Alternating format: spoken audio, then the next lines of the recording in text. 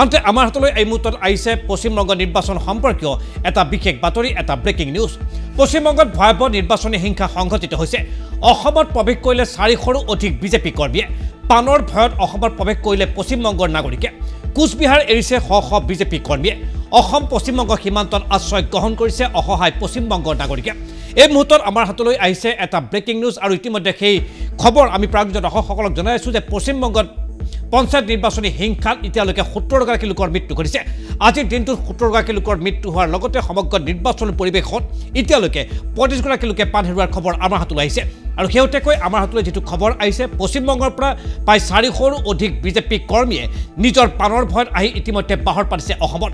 পশ্চিমবংগৰ নাগৰিকৰ কোচবিহাৰ এৰিছে আৰু শ শ বিজেপি কৰ্মীয়ে ইতিমধ্যে অসম পশ্চিমবংগ সীমান্তত বাহৰ পাতিছে। সবিশেষ জানিবলৈ নিউজ ডেস্কত যাব বিচাৰিছোঁ। নিউজ ডেস্কত উপস্থিত আছে আমাৰ সতীৰ্থ জ্যেষ্ঠ সাংবাদিক নয়নজ্যোতি ভূঞা।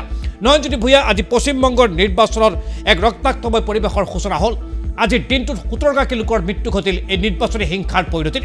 আৰু পশ্চিমবংগত পঞ্চায়ত নিৰ্বাচন ঘোষণা কৰাৰ পিছৰ পৰা আজিৰ দিনটোলৈকে পঁয়ত্ৰিছগৰাকী লোকে মৃত্যু সাৱটিব লগা দুৰ্ভাগ্যজনক পৰিৱেশৰ সৃষ্টি হ'ল নিৰ্বাচনী হিংসাৰ কৰুণ পৰিণতিত।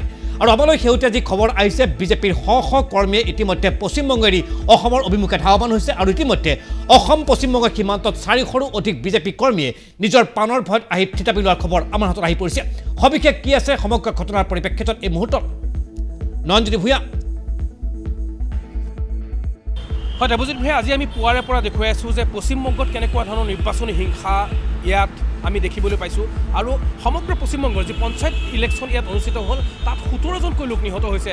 আৰু শেহতীয়াভাৱে যি খবৰ আহিছে সমগ্ৰ পশ্চিমবংগত এতিয়া টি এম চি আৰু বিজেপি সমৰ্থকৰ মাজত এটা যেন ভিতৰুৱা যি শীতল যুদ্ধ আছিল সেই শীতল যুদ্ধটো সম্পূৰ্ণ সন্মুখত আহি পৰিছে। একে সন্মুখ সমৰত আহি পৰিছে। আৰু শেহতীয়াভাৱে পশ্চিমবংগৰ বহু ঠাই স্পৰ্শকাতৰ হিচাপে ঘোষণা কৰা গৈছে। আৰু পঞ্চায়ত ইলেকশ্যন যিহেতু নিৰ্বাচিত হৈছে বিগত সময়ছোৱাত আমি দেখিলোঁ বিধানসভা নিৰ্বাচন অনুষ্ঠিত হওঁতেও এনেধৰণৰ বিক্ষিপ্ত ঘটনা সংঘটিত হৈছিলে হিংসাত্মক ঘটনা সংঘটিত হৈছিলে। কিন্তু সকলোকে চেৰাই এইবাৰ পঞ্চায়ত নিৰ্বাচনত সোতৰজনকৈ লোক নিহত হ'ব লগা হৈছে পশ্চিমবংগত যিটোৱে কিন্তু অনাগত দিনত এটা শুভ সংকেত দিয়া নাই। অনাগত দিনত যি আমাৰ গণতান্ত্ৰিক প্ৰক্ৰিয়া এই ঐতিহ্যমণ্ডিত যি গণতান্ত্ৰিক আমাৰ প্ৰক্ৰিয়া সেই গণতান্ত্ৰিক প্ৰক্ৰিয়াটোক কিন্তু এটা ইয়াত ভাল ইংগিত দিয়া নাই। তাৰ মাজতে এটা গুৰুত্বপূৰ্ণ খবৰ আমি দিবলৈ ওলাইছোঁ এতিয়া যে পশ্চিমবংগৰ সেই যি নিৰ্বাচনী হিংসা। তাৰ পৰিপ্ৰেক্ষিতত কি হৈছে তাৰ ৰিজাল্টটো কি আহিছে অসমত তাত কেনেকুৱা ধৰণৰ প্ৰভাৱ পৰিছে সেই বিষয়ে ক'ব বিচাৰিছোঁ। অসমত এতিয়া পশ্চিমবংগৰ যি বিজেপি কৰ্মী আছে সেই বিজেপি কৰ্মীসকলৰ মাজত অত্যন্ত এটা ভয় সোমাই পৰিছে শংকা সোমাই পৰিছে তেওঁলোক অনিশ্চিত হৈ পৰিছে তেওঁলোকৰ ভৱিষ্যতক লৈ আৰু নিজৰ প্ৰাণৰ সংশয় আঁতৰাবৰ কাৰণে বা মৃত্যুৰ যি তেওঁলোকে এটা দেখি আছে যে অকাল মৃত্যুৰ যি এটা বাতাবৰণ তাত সৃষ্টি হৈছে সেই ভয়ৰ পৰা শংকাৰ পৰা মুক্তি পাবৰ কাৰণে এতিয়া অসমত আশ্ৰয় ল'বলৈ উদ্যত হৈছে। ইতিমধ্যে চাৰিশতকৈ লোক চাৰিশতকৈ বেছি বিজেপি কৰ্মী অসমৰ প্ৰৱেশ কৰিছে আৰু পশ্চিমবংগৰ সীমান্তৱৰ্তী ধুবুৰী জিলা ধুবুৰী জিলাৰ বহু ঠাইত এতিয়া সেই যি হিংসা সেই হিংসাৰ পৰা নিজকে সুৰক্ষিত কৰিবৰ কাৰণে নিজৰ পৰিয়ালবৰ্গক সুৰক্ষিত কৰিবৰ কাৰণে চাৰিশতকৈ বেছি লোক এতিয়া অসমত প্ৰৱেশ কৰিছে। উদ্বেগজনক খবৰ এই মুহূৰ্তত কাৰণ অসম এতিয়া অসমে বুজা ল'ব লগা হৈছে যিটো হিংসাত্মক ঘটনা তাত সংঘটিত হ'ল বা বিশেষকৈ নিৰ্বাচনৰ যি হিংসাত্মক ঘটনা সংঘটিত হ'ল তাৰ বুজা এতিয়া অসমে ল'ব লগা হৈছে। শেহতীয়াভাৱে যিবোৰ আপডেট আহিছে যে কোচবিহাৰ জিলাৰ যি গোপালে কুটিৰ আছে গোপালে কুটিৰ পৰা প্ৰায় চাৰিশ বিজেপি কৰ্মী এতিয়া জীৱনৰ ভয়ত অসমত প্ৰৱেশ কৰিছে। আৰু লগতে পশ্চিমবংগৰ পৰা প্ৰাণৰ ভয়ত ধুবুৰী জিলাৰ গোলকগঞ্জ গোলকগঞ্জ অসম পশ্চিমবংগৰ সীমান্তত আশ্ৰয় লৈছেহি এইসকল বিজেপি কৰ্মীয়ে। আৰু আমালৈ অহা খবৰ মতে যে ভোট দিবলৈ গৈ তৃণমূল কৰ্মীৰ মৃত্যুৰ ভাবুকি মৃত্যুৰ ভাবুকি দিছিল তেওঁলোকক। আৰু এই শ শ লোক এতিয়া মৃত্যুৰ ভাবুকিৰ পৰিপ্ৰেক্ষিতত তেওঁলোকে নিৰাপত্তাহীনতাত ভুগিছে। পশ্চিমবংগত তেওঁলোকে নিজকে সুৰক্ষিত অনুভৱ কৰা নাই নিজৰ পৰিয়ালবৰ্গক সুৰক্ষিত অনুভৱ কৰা নাই। আৰু এই নিৰাপত্তাৰ ভয়ত বৰ্তমান চাৰিশতকৈ বেছি লোক বিজেপি কৰ্মী বিশেষকৈ বিজেপি কৰ্মী বিজেপিৰ সমৰ্থক। বিজেপি কৰ্মী বৰ্তমান অসমৰ গোলকগঞ্জত প্ৰৱেশ কৰিছে।